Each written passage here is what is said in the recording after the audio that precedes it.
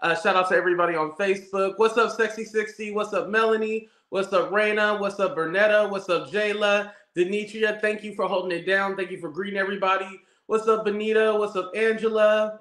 What's up? What's up, Yolanda? How everybody doing? Stephanie, thank you, Stephanie, for being here. Yes, make sure y'all hit that like button on the way in. Don't be shy. Hit that damn like button because y'all love to be here, but don't hit the like button. uh, what's up, Envy? Hello, everybody. Hello, hello, hello. Uh, we got a good show lined up for y'all today. I ain't gonna keep y'all waiting. Before we get into the Rick Ross Drake drama, we actually gonna talk about Mo'Nique because she was performing over the weekend and she said this. Now, if your kids are in the room, make sure you get them out the room right now. I'm gonna go ahead and play the video. You ready? Because you looking like you a man of God, TD Jakes. Have you ever been swallowed?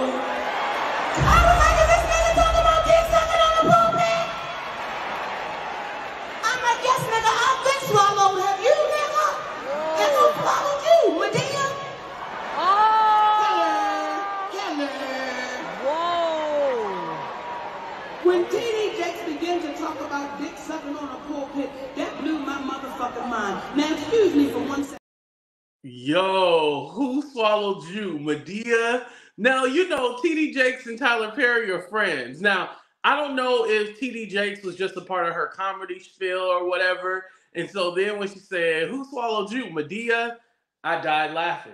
I ain't gonna lie.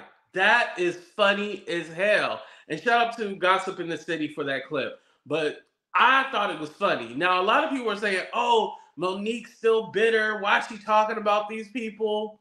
It's comedy. You talk about what's going on and you talk about the world. Like, I don't think Mo'Nique is bitter. Now, when she said she threw Madea in there, Tyler Perry, I thought that was a funny joke. I think it landed. A lot of people just say, oh, Mo'Nique doesn't really do comedy. She's just talking about what's going on in the world. But that's a part of comedy. You talk about what's going on in the world. Like, I don't see nothing bad about what Mo'Nique is doing, but a lot of people think that she's bitter.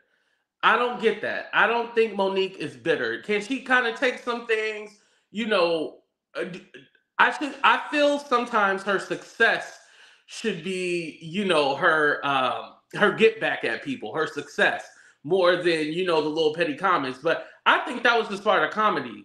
Uh let me know. Did you guys think Mo'Nique took it too far? Yes or no? Do you think that joke took it too far? Yes or no? Let me know. Because you looking like you a man of God, TD Jakes. Have you ever been swallowed?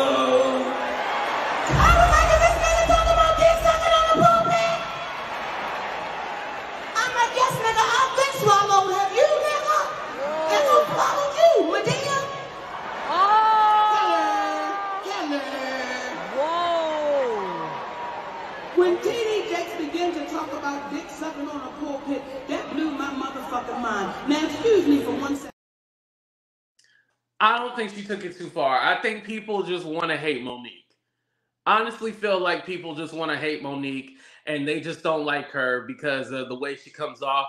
They don't like the husband, but I do not think that joke took it too far. I think if anything, that joke was right on the money. I think that was funny. Who who, who swallowed you, Madea?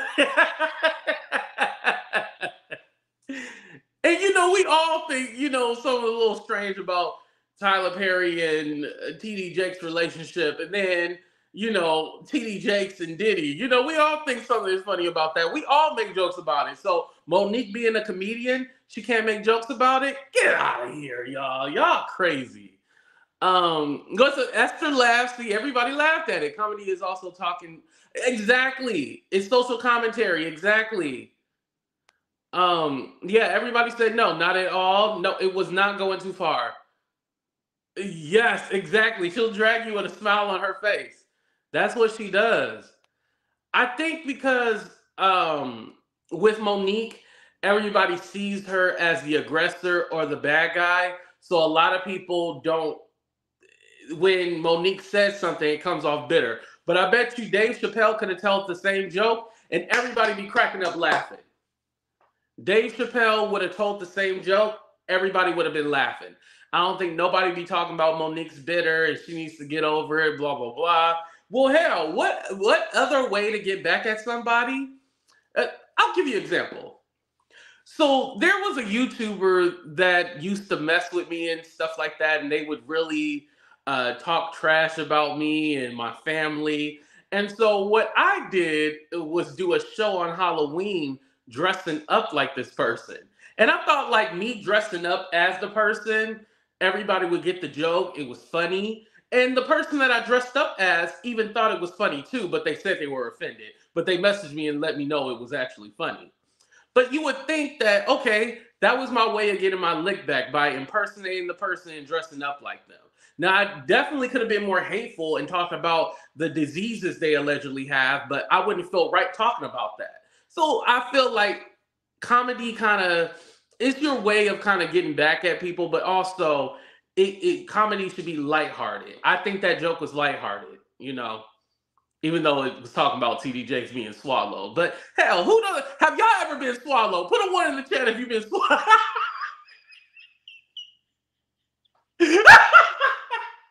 and behind the pulpit, he said, Have you ever been swallowed? Shout out to everybody coming in the room. Uh, Jackie, Southern Bell. Shout out to everybody coming in. I think I see Melanie here too. Um, the other Melanie, Melanie Jones said so. Make sure you guys follow her. But yeah, see Benita one the yeah. I've been swallowed. You know, shit, we all want to be swallowed every now and then. sure, ain't nothing wrong with being swallowed. I just don't want to picture no TD Jakes being swallowed, you know. What's up, Carol? Thank you for coming in the room. Yeah, but comedy is comedy. Now, I do want to point out something uh, like about a month ago, Mo'Nique was on Don Lemon's show. You know how Don Lemon, it, it, had to be three weeks ago because I think his show just started. But Don Lemon has his uh, show that he's doing, right? On YouTube. It was supposed to be with X, but then, you know, with, uh, why do I want to say Elton John? Elon Musk. That went all down the hill, whatever, right? Well, something that I found interesting is like Mo'Nique was all like, you know, I do all these interviews and all these shows and I'll be all like, call up your friend, let them know they did me wrong, blah, blah, blah. And nobody has made the call, da da da da da. And she was kind of venting to Don Lemon. And I was like, oh, wait, is Mo'Nique throwing shots at uh, Shannon Sharpe? Because she was talking about how she do these interviews and she'd be telling her story and telling how, you know, Tyler Perry, Oprah, and all these people did her wrong. But yet, if they're they're if they're friends with them, why don't they call them up and be like, hey, did you do this to Mo'Nique? You know, make the situation right. But she was like, nobody has made the situation right at all. And I was all like, whoa. And the only person that she had anything positive to say about was uh, T.S. Madison, because you know T.S. Madison was the one who made the call to uh, what you call it, uh, Lee Daniels, and then Lee Daniels made up with so that was like one person who held their end of the bargain. But uh, and then Don Lemon did say he would try to reach out and call the people and talk to them. But I have a question for you guys.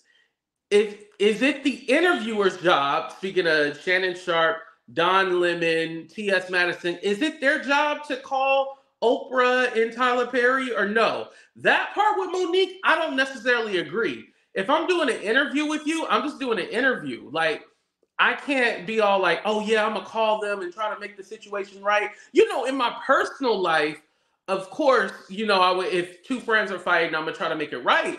But okay, I see y'all saying no. Yeah, I I, I say no on that. Angela say no, Bernetta said no, Joyful say no. Yeah, I, I don't feel like it's the interviewer's responsibility. I think with that, Mo'Nique, yeah, you're taking it a little bit too far. Like it, it's nobody's responsibility to make the situation right.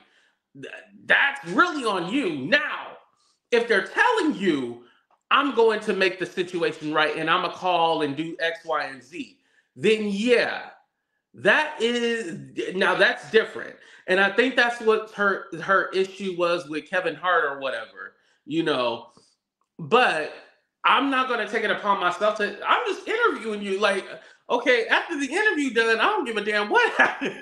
I hate to say it like that, but after the interview, I don't give a damn what happened. Like it ain't on me. But that's hard to like put that on somebody. Be like, yeah, you gotta make, you gotta call them and call them to the car. Listen, I don't feel like Tyler Perry nor Oprah is ever going to apologize to Mo'Nique. Do anybody think that uh, Oprah and Tyler Perry will ever apologize to Mo'Nique? Yes or no? Go ahead and put it in the chat. And while y'all sip, while y'all marinate on that, I want to talk about our friends at Inspired by Candle Company. Make sure you guys check them out. Uh, the oils are non-toxic. I tell, I'm telling you, I love these smells. I got the Mahogany Bliss, which is a part of the Man Cave collection, and then I got the cocoa butter. You know, living in a black household, you always got some cocoa butter around. Even though I got Aveeno lotion right now, but you always got some cocoa butter. They smell great. Please check them out, and also use my promo code AT210, which will give you 10% off. So you can't beat that. And if you spend over $35, you get free shipping and handling. So what you guys say in the chat? No, no uh, hey Latoria, how you doing? Not never. Could never. Yeah, not unless they uh flat flat bro. Yeah, nobody's apologizing. Yeah. Now that with Mo'Nique, you need to move on with that. I'm sorry. Would y'all agree Mo'Nique need to move on? Because that's not happening. They never gonna give you apology. You are never going to get what is owed to you as far as an apology. And mind you, I feel like Mo'Nique is in the right. Don't get me wrong. Mo'Nique is definitely in the right. What they did to her and how they treated her was definitely wrong. I get it. But they never gonna give you yo, yeah. Never. Never. They they could care less. They could really care less. At this point, you gotta move on. You know, time to move on. All right.